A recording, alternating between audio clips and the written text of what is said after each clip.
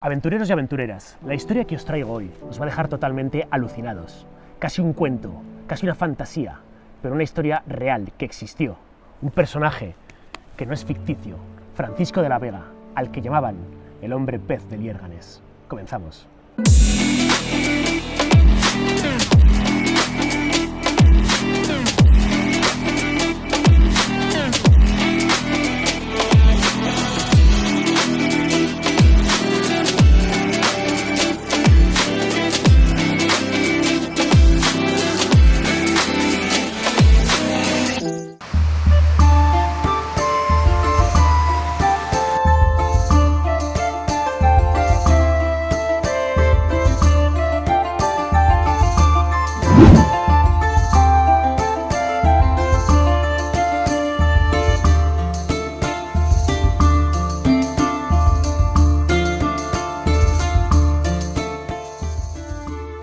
Hoy en día, caminar por Liérganes es adentrarnos en la historia del hombre pez, en un pequeño pueblo con encanto que nos trae una aventura sin igual.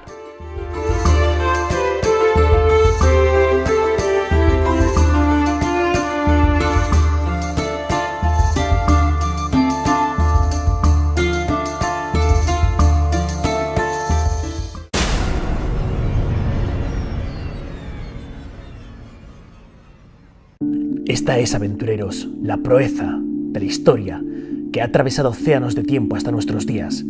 La historia de Francisco de la Vega Casar, el hombre pez del Liérganes.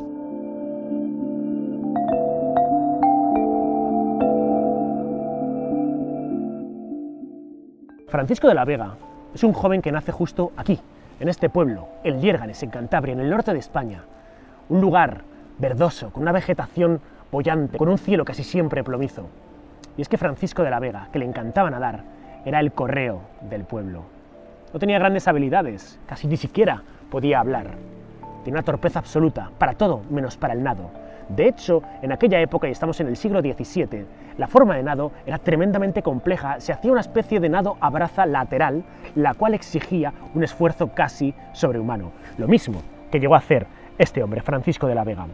El caso es que una noche, el preludio a la noche de San Juan, Francisco de la Vega se encuentra aquí sumergido con un amigo suyo en el río Miera y su amigo le propone un reto, a que no eres capaz de llegar hasta el mar Cantábrico simplemente nadando.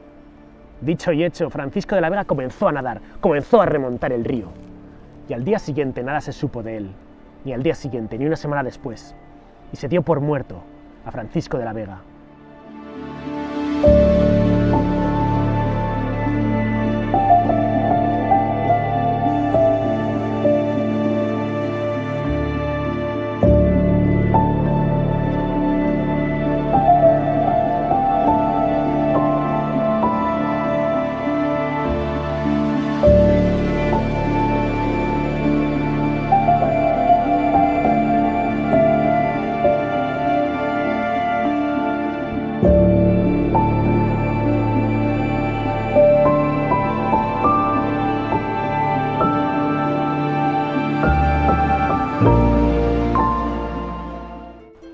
Cinco años después, unos pescadores en Cádiz verían algo que se mueve.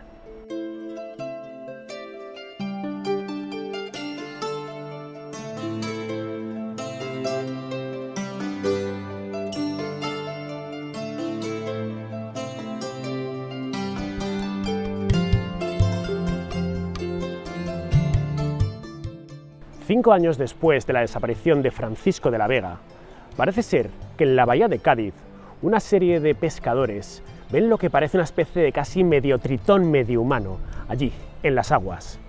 Directamente le atraen echando trozos de pan. Y esa especie de humanoide, de rasgos eh, casi mmm, como si fueran los de un pez, verdoso, pica el anzuelo. Y es cogido directamente por parte de esas redes de los pescadores gaditanos. Cuando le ascienden, se dan cuenta de que es una persona, pero extraña. Una larga melena rojiza, un cuerpo fornido, verdoso, casi como con escamas, con manos palmípedas. Y directamente es encerrado, es encerrado en el convento de San Francisco. Allí, este hombre sería interrogado de forma totalmente infructuosa. Se le realizarían tres exorcismos y no decía absolutamente nada, ni una sola palabra. Pero llegado a un punto comienza a balbucear algo parecido a Liérganes. Liérganes. Las crónicas de la época nos cuentan que Francisco de la Vega Casar fue visto en el Canal de la Mancha o incluso en Dinamarca, hasta que finalmente llegó a las costas de la bahía de Cádiz. Efectivamente, uno de los inquisidores que ahí se encontraba se da cuenta de que Liérganes es un pueblo que se halla en el norte, justo en Santander.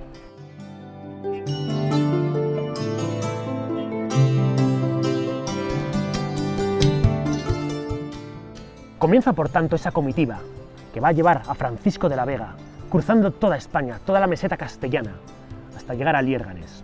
Podemos imaginar casi un ser con pelo rojizo, un cuerpo fornido, manos palmípedas, una especie de escama que recorre su espina dorsal, atravesando toda la península ibérica, ante probablemente las miradas inquietantes de las gentes que le podían observar.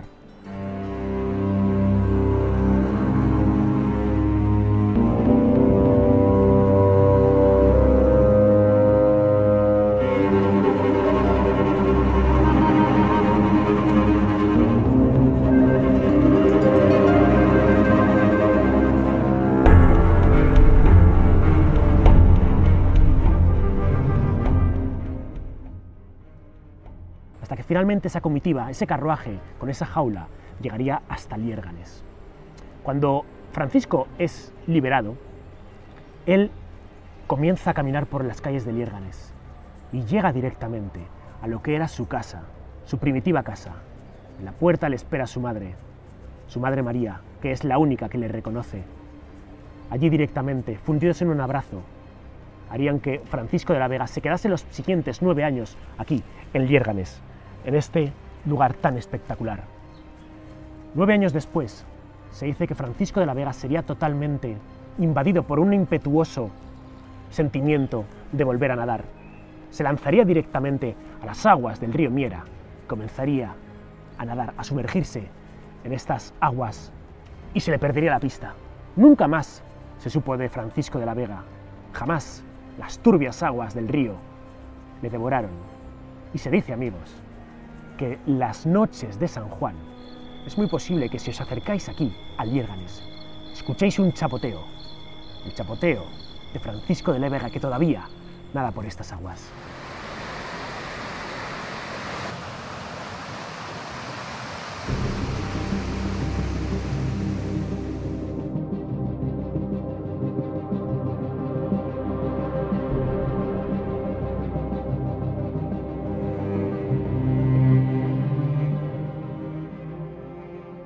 Ahora bien, aventureros, ¿qué es lo que dice la ciencia de Francisco de la Vega y de la historia del hombre pez?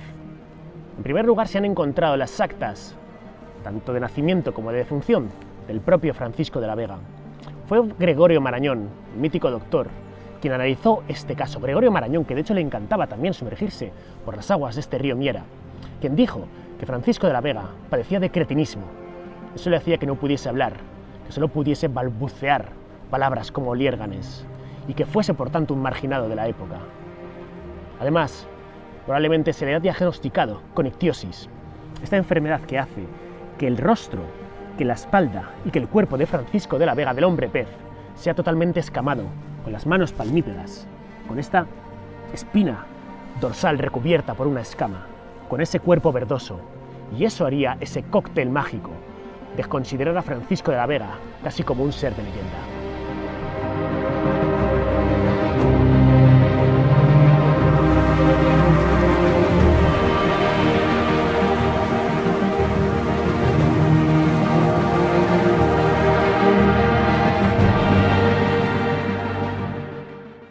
Historia del hombre pez, amigos, nos enseña que nada es imposible, que las leyendas, que los cuentos, que las fantasías que en muchos pueblos hay, tienen un halo de verdad, que efectivamente historias como estas pudieron ocurrir.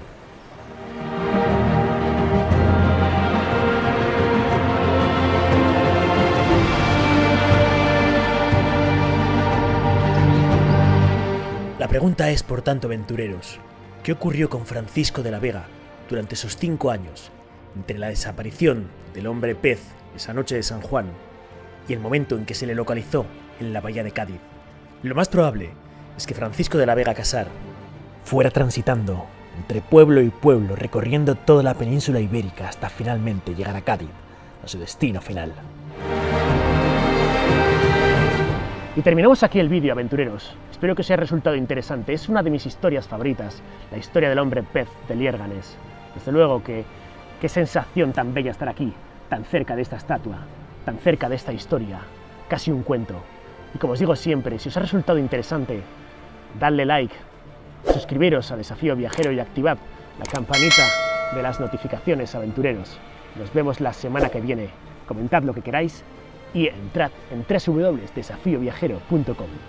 Hasta entonces, aventureros.